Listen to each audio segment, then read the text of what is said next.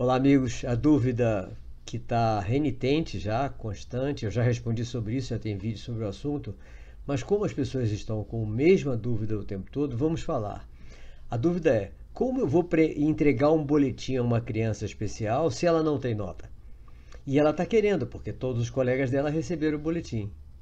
Onde estão os erros? Um monte de local está erro aí, certo? Primeiro, se essa criança está matriculada numa turma, se nessa turma tem prova, então todos os alunos têm nota, inclusive ela. E que nota ela tem? É zero? Porque pelo que eu percebi, a nota é zero. Como zero? Se a nota foi zero, quem foi reprovado foi quem? Foi o aluno ou o professor? Foi o professor. Por que, que quem foi reprovado foi o professor? Então vamos de, cara. Todos os alunos numa sala de aula têm nota. Porque todos os alunos naquela sala de aula fazem prova a menos que a colégio não tenha prova. Então, o aluno especial, o que, que é obrigatório nós fazermos com o aluno especial? Primeiro, é, segundo a Lei Brasileira de Inclusão, esse aluno especial tem que ter tarefas dentro do seu nível de entendimento. Tem que ter dever de casa dentro do seu nível de entendimento. Tem que fazer avaliações, testes e provas dentro do seu nível de entendimento. Então, como é que ele não tem nota? Se eu sou um professor de português e faço uma prova de português para o nono ano, e na minha sala eu tenho um aluno que está pós-alfabetizado. Então ele mal sabe é, é, ler uma, interpretar uma frase. Então eu vou passar uma prova para ele dentro do nível que eu tenho certeza que ele já aprendeu comigo, porque eu sou professor da sala de aula regular de português. Então eu sei o nível de português que ele está. Então eu faço a prova no nível que ele está, para ele ficar alegre, feliz e satisfeito, porque aprendeu aquele, aquilo que eu estou perguntando a ele. Então, quando eu fizer a prova para ele, eu vou fazer essas questões e ele vai acertar. Então ele vai ter nota sim, vai ter nota 9, 8, 9, 10. Às vezes pode dar um vacilo, perdeu, esqueceu uma coisa, etc. Então vai ter 9, vai ter 8. Mas óbvio que ele tem que ter nota e tem que passar. Porque se eu fizer uma prova para ele e ele for reprovado, quem foi reprovado? Foi ele ou fui eu? Fui eu, é óbvio. Porque se o aluno especial eu tenho que fazer a avaliação de acordo com o nível dele, e se eu dou uma prova que não está no nível dele, quem foi reprovado fui eu. Eu que não entendi nada. Então, todo aluno especial tem nota sim. E o boletim pode ser entregue sim. Então, como é que vai o boletim? Português, 8. Matemática, 9,5. Ciências, 10. inglês, não sei quanto. Todas as notas lá.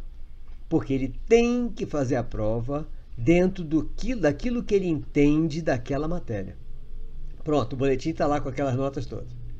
Em anexo ao boletim, tá, está o relatório do professor de português, de matemática, de ciências, de história, etc., dizendo em história, o aluno X está já alcançou tal nível de entendimento, já sabe fazer tal coisa e pode até colocar também a metodologia que está sendo utilizada, pode até colocar também algumas técnicas que foram utilizadas, porque esses boletins é que vão constituir, vão ser preparatório para o, a, o documento de transferência que tem que ir com todos esses anexos.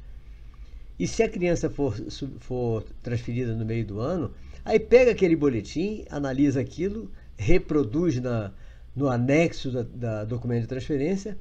Por quê?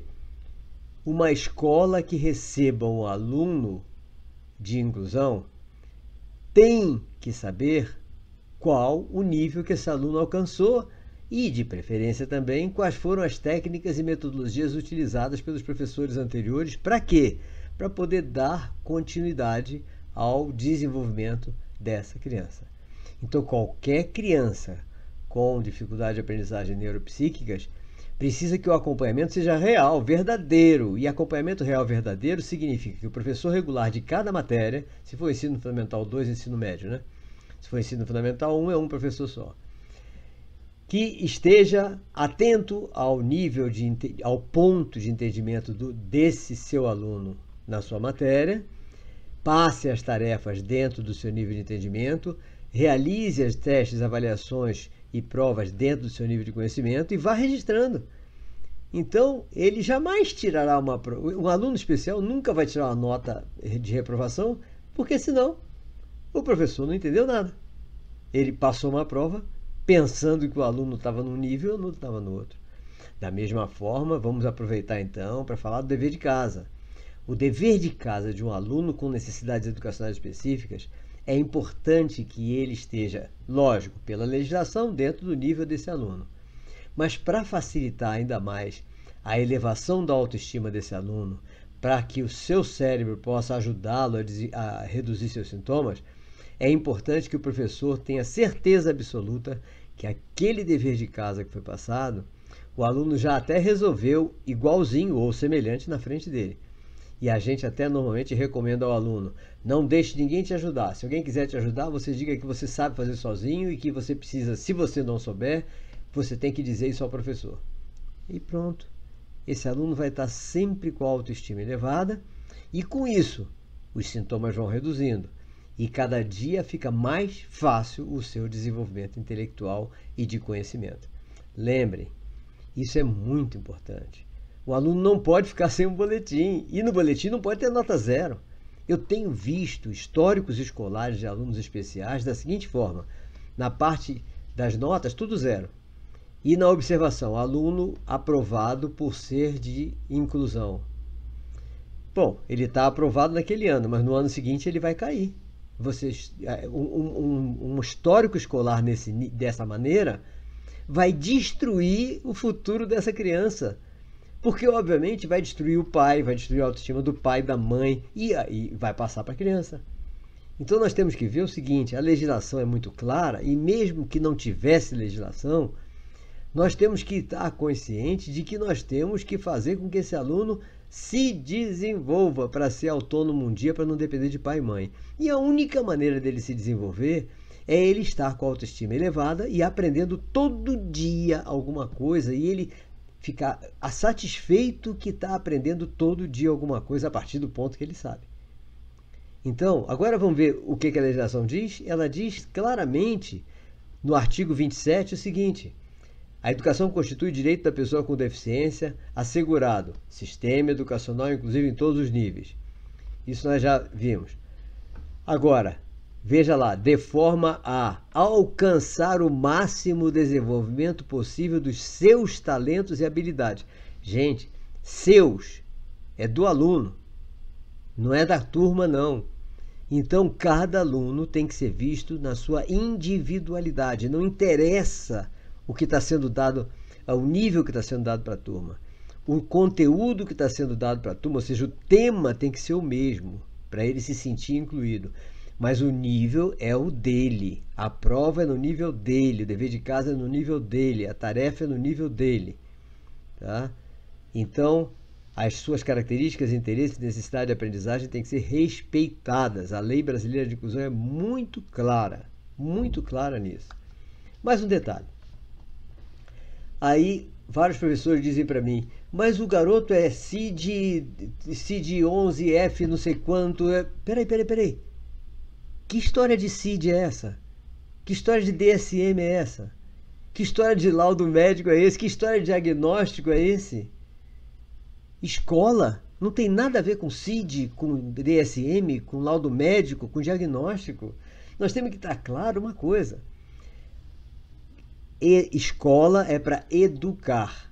Quem entende de educação é o professor e a escola, não é o médico.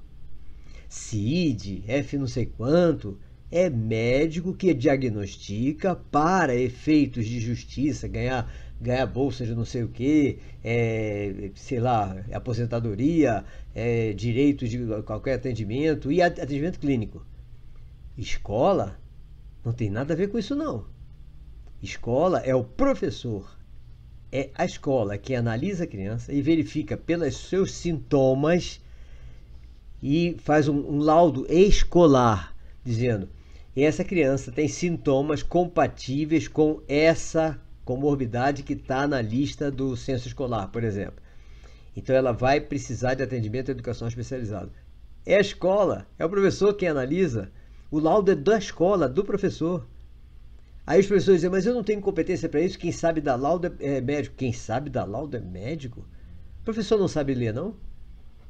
Os dirigentes escolares não sabem ler, os coordenadores não sabem ler? Qualquer um, professor, educador, sabe ler, então vamos ler quais são os sintomas característicos da dislexia, da descalculia, do transtorno espectro autista, do TDAH, etc. E dar o laudo, só não vamos dizer ele é TDAH, ele é isso, porque isso ficou de exclusividade do médico. Mas nós vamos dizer, ele tem sintomas compatíveis a essa comorbidade e, portanto, ele precisa do atendimento educacional especializado para desenvolver o seu cognitivo. É outra coisa importante. Então, isso é feito pela escola. Laudo médico, diagnóstico médico não tem nada a ver com escola.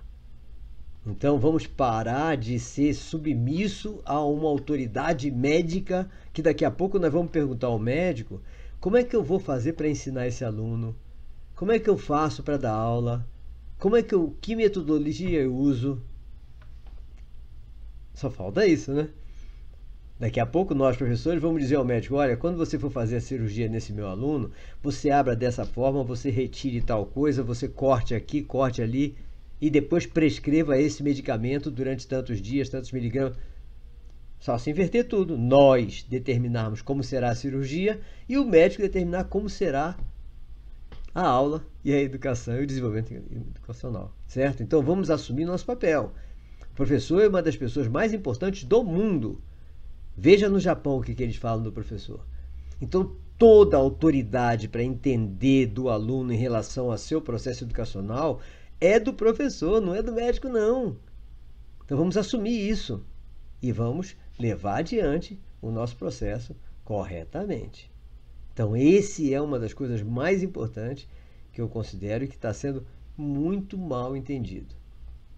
Ok? Então, vamos ver se qualquer dúvida entre em contato conosco, qualquer dúvida mandem outras perguntas, mas assista direitinho de novo e vamos assumir o nosso papel.